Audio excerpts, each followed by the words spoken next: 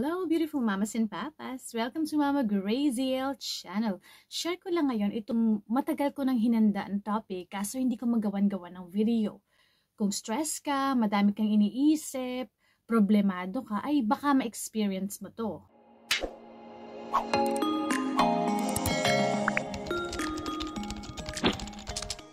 Few months ago, so medyo matagal-tagal na, may napansin ako na parang may parang unusual sa lalamunan ko na parang may nakastuck sa loob.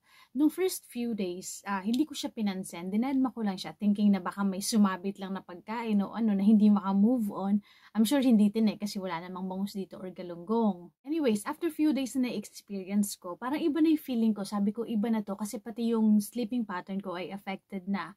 Feeling ko hindi ako makahinga uh, sa pagtulog ko. So ang ginawa ko, tinestingan kong huminga sa ilong lang mismo sabi ko, clear naman yung airway. So, walang problema sa ilong ko. Hindi barado. Wala rin akong sipon. Ganon. Then, nung nag-try akong lumunok, even laway or hangin lang, parang nasa-stuck siya dito. Hindi siya dumidiretso pababa sa esophagus. Parang there's something in here na may nakastuck. You know, some will say na, edi sa ilong ka huminga. I know, easy said and done. Kasi malalaman mo to pag ikaw na mismo yung naka-experience ng sinasabi ko. Nung panahon na na-alarma na ako, ay kung ano-ano na pumasok sa isip ko na sabi ko na kung baka delikadong sakit, baka goiter na to, worst, baka yung mga cancer, mga ganon.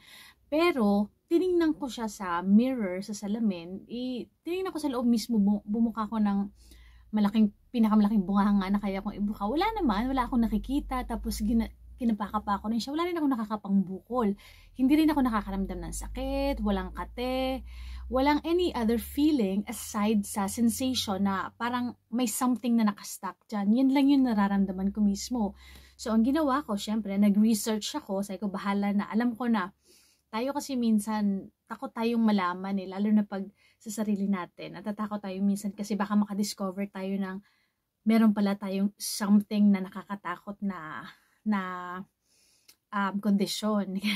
Pero syempre, nilakasan ko yung loob ko na nag-research ako kung ano ba tong sakit ba to or ano bang kondisyon na to yung nararamdaman ko. Tapos, dun ko nakita, parehong-pareho sila ng description ng globus pharyngeus. Now, let me talk a little bit about this globus pharyngeus based sa mga nabasa ko.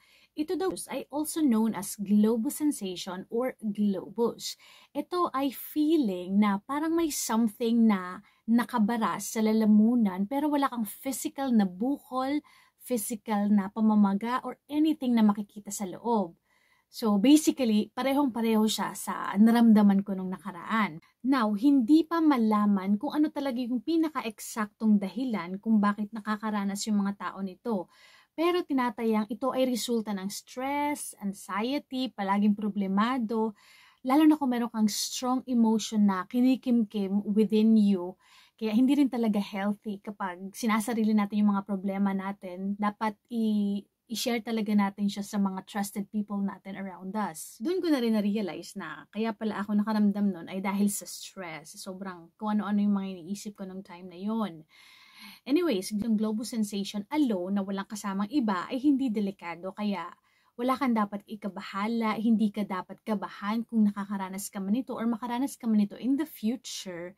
Pero of course, we cannot deny the fact na talagang uncomfortable siya sa pakiramdam. Pero syempre, once may kasama na itong globus na to ng iba tulad ng pamamaga, ng sakit, ng kate, or may, nang, may nakakapakan na something sa lalamunan mo dito, syempre iba na yan kasi pwedeng ibang health condition na yan. Kaya syempre dapat magpa-check up ka para matukoy kung ano man yan yung nararanasan mo. Right?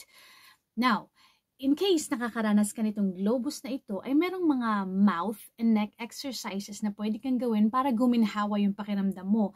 Ginawa ko rin itong mga to, though hindi ko pa alam nung time na yon na may mga exercises pala. Parang ano na lang siya, common sense na ginawa ko. Number one ay chewing exercise. Nguya-nguya ka lang kahit wala kang kinakain para ma-exercise yung uh, jaw mo tsaka yung muscles mo dito, yung masseter mo. Second ay yawning exercise. Hihikab ka, kunyari, kasi parang nakaka-open to or nakakagaan to ng pakiramdam sa may lalamunan banda. And number three, syempre, breathing exercise. Inhale, exhale ng malalim. Kung gusto mong malaman yung detailed exercises para dito sa Globus, ay pwede kang mag-visit sa website na www.webmd.com kasi makikita mo doon yung mahabang description kung paano ba gawin yung exercises para guminhawa yung pakiramdam kapag nakararanas nitong globus pharyngeus. Yung sa akin, uh, hindi ko na malayan na kung kailan siya nawala. Parang feeling ko, mga naglast siya ng more than a week. But I noticed na nung time na nagbasa ako, nag-research ako, syempre napanatag na yung loob ko nung time na yon. So, hindi rin masama talaga na inaalam natin yung kondisyon natin. Kasi either or lang yan eh. Either malalaman mo yung masakit na katotohanan or mapapanatag yung loob mo. Mas maganda na yon. I prefer the uh, other one na malalaman ko kung ano talagang kondisyon ko or kondisyon natin para hindi tayo maparanoid ng kakaisip based sa imagination lang natin, 'di ba? So better to know the truth. Yan, shinare ko lang to kasi mayroon ako na I'm sure hindi yun sa YouTube.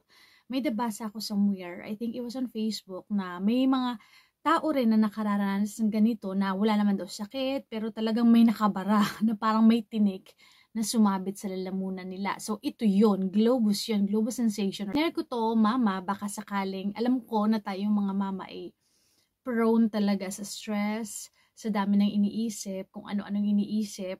Kaya, may mga chances or malaki ang chance na maka-experience ka nito in the future kung hindi ka pa nakaranas nito. And if in case nakaranas ka nito, kindly share your experience sa comment section para mabasa rin ng iba nating kamamas, alright?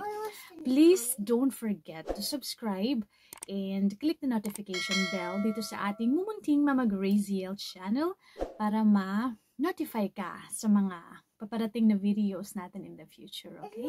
Huwag yun ang pansinin kung medyo hinihingal ako. hinihingal ako habang nagsasalita. Medyo yan na umaataka na yung shortness of breath ko. I'm on my second trimester, but as you know, twins ang pinagbubuntis ni Mama Graziel. So medyo naghahabol ng hininga kapag napahaba-haba yung pinagsasabi ko. Yan, salamat ulit sa for being with me on this video. Have a nice day. I'll see you on the next video.